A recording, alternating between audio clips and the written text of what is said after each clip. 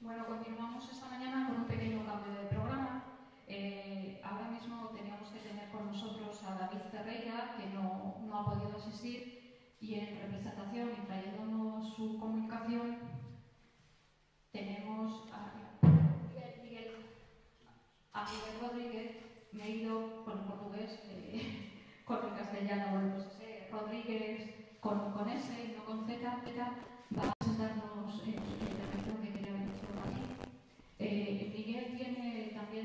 Eh, de Cultura Norte de Portugal, como uno de sus directores técnicos.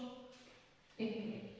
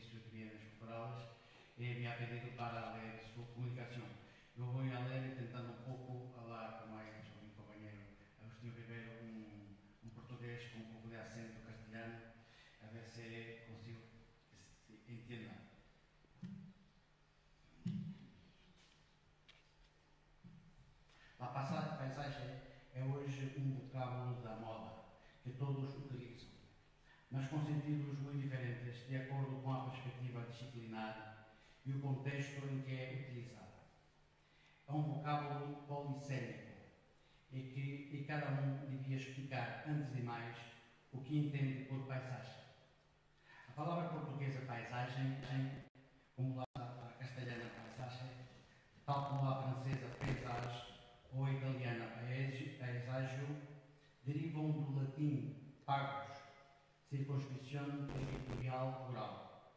Em inglês, landscape, evoluiu do inglês antigo, landscape, que designava porção do território.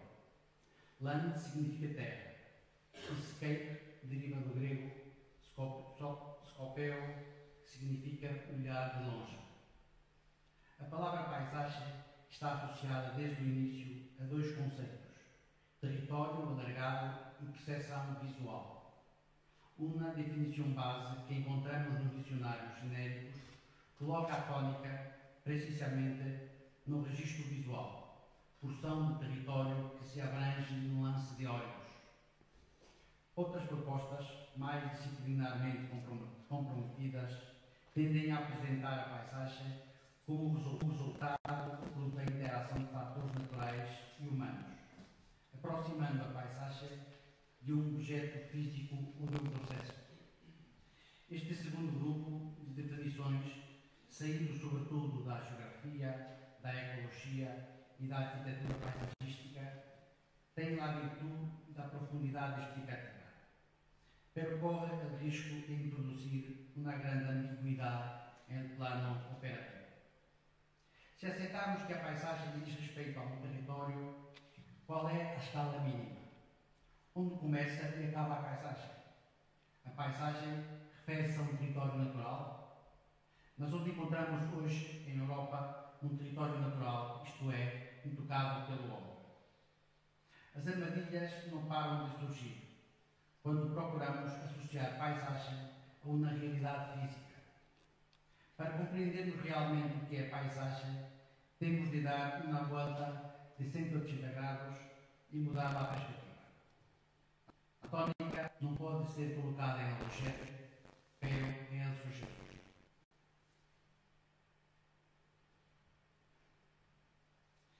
Para nós, a paisagem é fundamentalmente, é fundamentalmente uma percepção. A percepção sensorial do espaço. Qualquer espaço, seja ele urbano ou rural, exterior ou mesmo interior. Colocar a tónica no caráter sensorial da paisagem permite delimitar bem o conceito e, ao mesmo tempo, dar-lhe um caráter inclusivo. Mesmo se adotarmos a visão restritiva que associa a paisagem a espaço aberto, temos de concordar que a paisagem não é o território, mas sim a percepção do território por um observador. A terra, as rocas, são coisas físicas, tal como as árvores, um rio, uma puente, pero a paisagem não são estas coisas. A paisagem é a percepção que temos dessas coisas. Por isso, quando dizemos que a paisagem é um produto de, de referimos de facto ao território ou ao ambiente e não à paisagem, que é já uma tradução desse espaço. Não se trata, contudo, de uma mera tradução visual. A ideia de paisagem implica a presença do observador. É por isso um conceito intrinsecamente subjetivo. A paisagem é a percepção de alguém em concreto e duas pessoas diferentes, ao observar o mesmo espaço, podem percepcionar e entender realidades distintas de acordo com a sua formação. Isto é, de acordo com as ferramentas que dispõem para entender o mundo. Mas também de acordo com o seu estado de espírito momentâneo. O conceito de paisagem é uma, é uma realidade onde o homem está e portanto, o inclui. Neste entendimento, paisagem, para além da sua realidade geográfica, resulta da ação do homem e da reação da natureza. É um conceito e uma realidade que só existe como tal quando há alguém para lá ver e a interpretar. A paisagem é um elemento cultural que resulta da contemplação que se exerce sobre a realidade física e geográfica e não essa realidade em si mesma.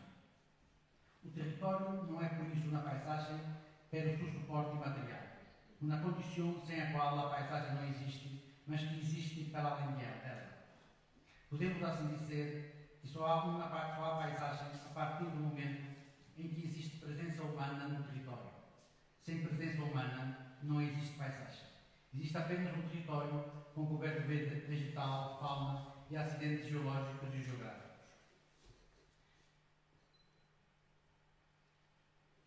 Para integrar a paisagem no universo jurídico do património cultural imóvel, é contudo necessário fazê-la corresponder a um espaço físico delimitado.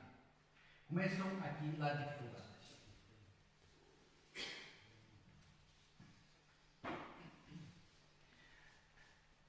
Uma vez que a paisagem não é um objeto físico, pero uma percepção, qualquer bem imóvel agarrado ao suelo pode ser entendido como paisagem.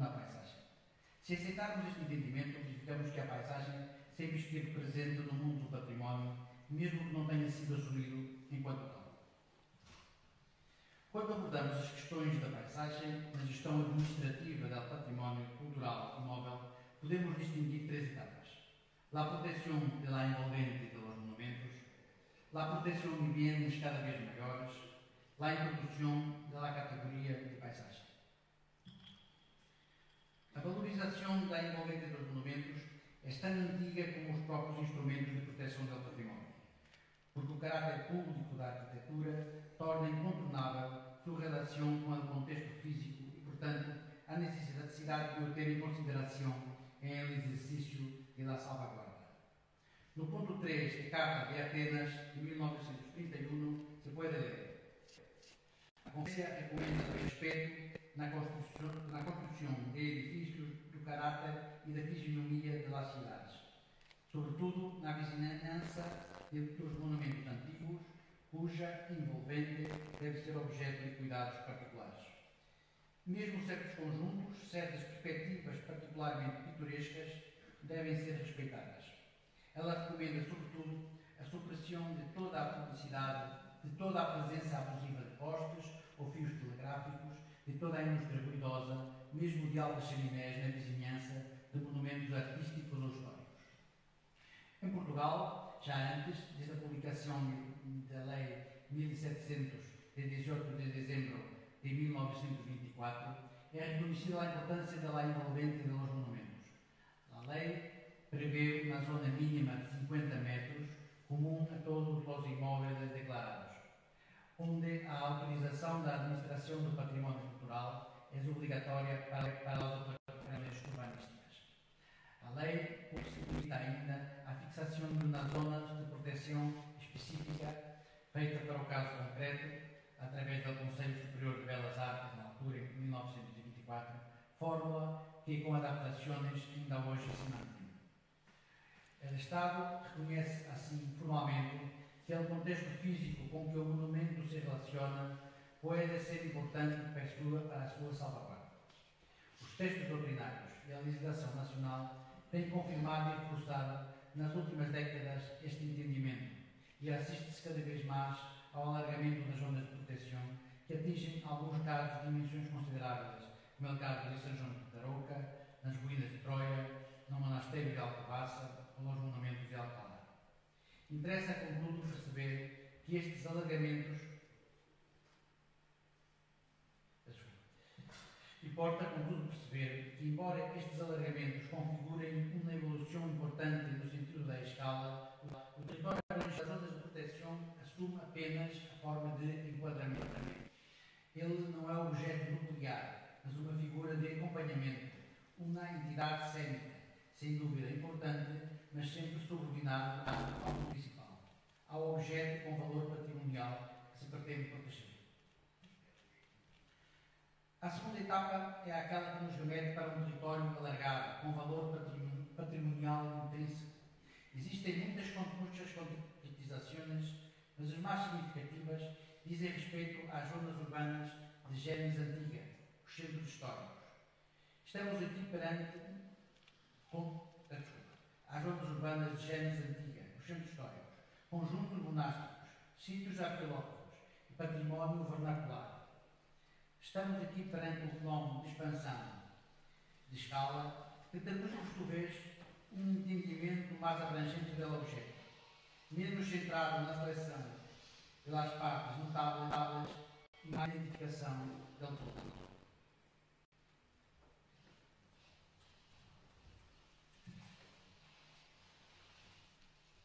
Temos aqui alguns exemplos de, de estes conjuntos classificados a partir dos anos 60 em que a classificação já não é solo todo edificado, pero, por exemplo, no caso dos monastérios, se classifica toda a cerca e todo, toda la, la, os elementos que têm uma conexão direta com o património edificado. E os centros urbanos também, claro, estes conjuntos monásticos, como São João de Roca, e também sítios arqueológicos, neste caso Castelo Velho de Freixo de Numão, em que também os sítios arqueológicos por si se classificam como sítios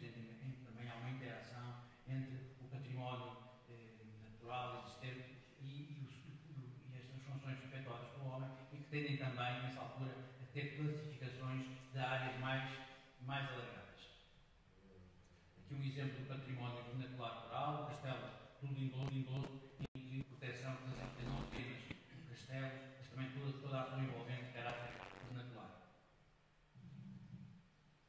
A terceira etapa é a criação formal da paisagem cultural. Para esta evolução, confiam muitas disciplinas, mas a geografia histórica, a arqueologia, e a arquitetura paisagística tiveram um papel particularmente relevante. O conceito de paisagem natural começa a ganhar forma institucional na segunda metade do século XX, no seio da Unesco e do Conselho da Europa, encontra uma das suas primeiras expressões em 1962 com a recomendação relativa à proteção da beleza e do caráter de paisagem e sítios, produzida pela Conferência Geral da ONU para a Educação, Ciência e Cultura.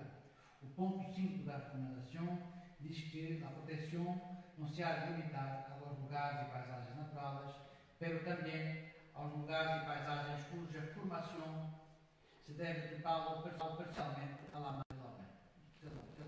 Assim, convém criar disposições especiais para a proteção de certos lugares e paisagens, tais como lugares e paisagens urbanos, são em geral os mais ameaçados, sobretudo por ocupação e especulação de terrenos, convém estabelecer uma proteção especial na proximidade dos monumentos.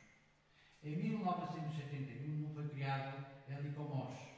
El de 72 constitui outra referência importante pela adoção da Convenção do Património Mundial Cultural e Natural, que no artigo 1 introduz, ao lado dos monumentos e conjuntos, a categoria de locais de interesse, entendidos como obras del hombre ou obras conjugadas del hombre e da natureza, e as zonas, incluindo locais de interesse arqueológico, com um valor universal excepcional do ponto de vista histórico, estético, etnológico ou antropológico. Em 1985, a Convenção de Granada para a Salvaguarda do Património Europeu influenciou muito a legislação nacional europeia, adopta as categorias conjunto e sítio, este, estes entendidos como obras combinadas da longa e da natureza, parcialmente construídas e constituindo espaços suficientemente característicos e homogéneos para permitirem uma delimitação topográfica notáveis pelo seu interesse histórico, arqueológico, artístico, científico, social ou técnico. Paralelamente, no início dos anos 80, o Comitê do Património Mundial começa a discutir especificamente as paisagens culturais no, âmbito dos critérios de identificação e gestão das paisagens rurais e dos sítios. Esta discussão culmina em 1992 com a adoção de novos, de novos critérios de identificação e avaliação para a integração de bienes na lista de património mundial, que passam a contemplar esta nova tipologia de bienes cultural dividida em três categorias. Paisagens desenhadas e criadas intencionalmente pelo homem, paisagens organicamente evolutivas, subdivididas em paisagens fósseis e paisagens vivas, e paisagens culturais associadas. Em 1995 são inscritas na lista de património mundial as duas primeiras paisagens culturais, os terraços de arroz das cordilheiras filipinas e a paisagem cultural de Sintra. Entretanto, a Unesco continuou a sistematizar categorias específicas para áreas alargadas e prevê o património misto cultural e natural que coexiste com as paisagens culturais, cidades e centros históricos canais do património e rotas do património, numa profusão de nomenclaturas e subdivisões que são também modelos de expansão patrimonial. Em 1995, o Conselho da Europa produz a recomendação relativa à conservação das paisagens culturais, integrada nas políticas de paisagem, incluída com o de paisagem de 2000, passará a constituir documento de referência.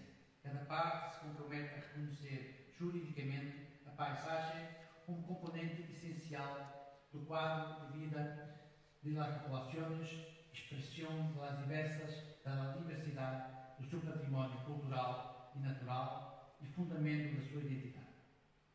Paisagem que é considerada recente Convenção Europeia é, no essencial, uma paisagem cultural, absolutamente dominante no espaço europeu, expressando os diversos fatores naturais existentes mas também de uma muito antiga ação humana sobre esses fatores. A paisagem natural seria aquela em que a articulação dos diversos fatores naturais ao longo do tempo não fosse, ou fosse apenas ligeiramente, afetada pelas comunidades humanas, o que só acontece pontualmente na Europa. Em geral, de forma direta, mas também indireta, praticamente todas as paisagens de hoje registram em maior ou menor grau a intervenção humana.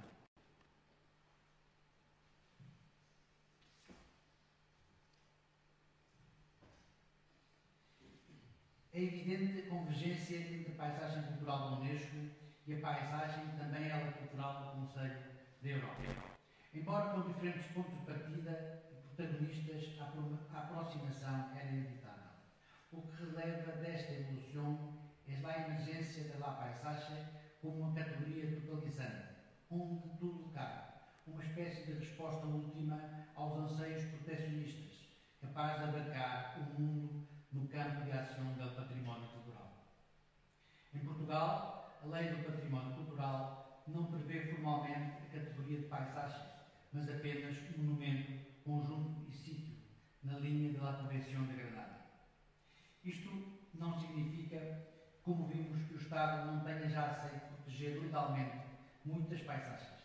mesmo aqueles que têm dificuldade em aceitar que o conceito de paisagem se pode, pode aplicar, deverão reconhecer que existem já em Portugal muitos territórios de grande dimensão classificados, eh, declarados, independentemente de se chamarem paisagens ou outra coisa qualquer.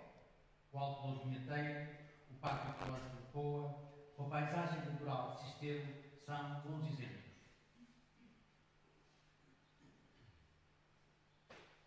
Esta é uma área de, de classificação de Alto Douro Vinheteiro, eh, cuja zona classificada é a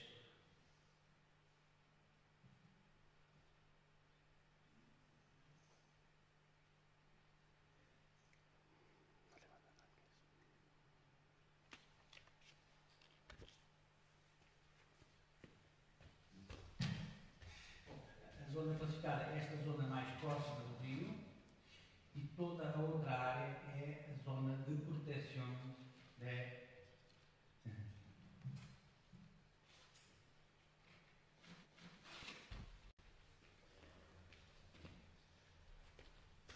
a zona classificada é esta mais escura e o resto é a zona de proteção, que é uma grande zona próxima, que eh, eh, abarca toda a zona de produção del vinho de Porto e do Porto. A zona, a zona classificada é limitada, eh, pero a zona de proteção é bastante, bastante alargada.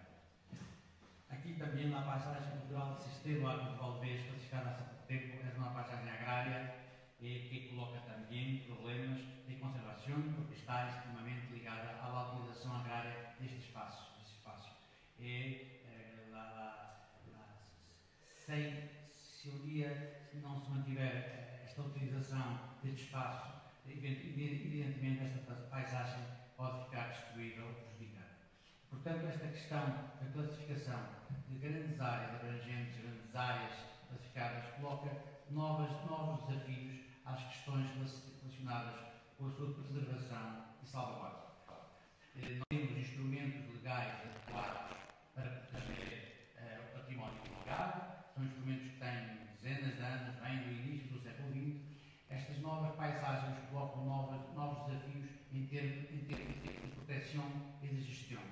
Muitas vezes não é, não é suficiente que as entidades que tradicionalmente protegem o património, eh, património eh, declarado, as entidades ligadas à cultura, ao património cultural, é necessário intervir em outras entidades para proteger eh, estas áreas muito mais alargadas e para tentar que elas possam continuar, não digo, a intenção, claro, não é congelar a paisagem, é que continuem ter os elementos que levam à sua declaração e que nos eh, levam à sua proteção.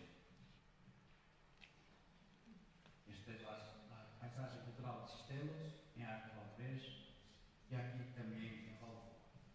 Aqui chegamos à questão que nos parece, parece relevante, não a utilização ou não do termo paisagem, que não, que não nos parece traduzir uma diferença conceptual significativa relativamente às categorias que já existem, mas sim a adequação e eficácia dos instrumentos que temos à disposição para gerir áreas de grande escala. Para essa reflexão, este foi apenas um ponto de partida. Obrigado.